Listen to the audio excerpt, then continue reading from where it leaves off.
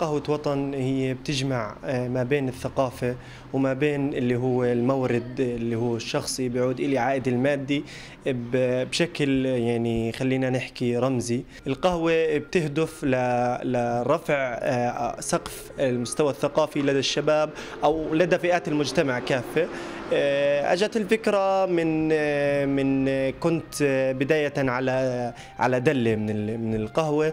حبيت أزيد هاي الفكرة بمحل صغير بيستقطب كافه كافة شرائح المجتمعية. بصراحة أنا تفاجأت آه، بالاهتمام من قبل الشباب.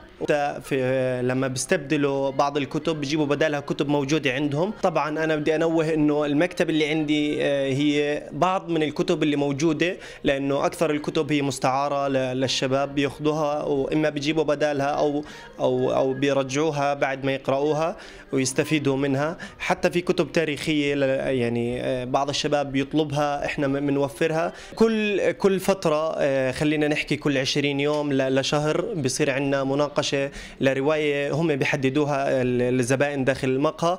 أنا بطمح إنه هاي تتطور آه، لتصير مكتبة أكبر من هيك بس المادية ما بتسمح إنه أنا أطور أكثر من هيك. كنت هادف إنه ما يكون واي فاي داخل أو خدمة الإنترنت داخل القهوة حتى اللي بفوت يتمتع بجو قراءة بعيدا عن عن الإنترنت.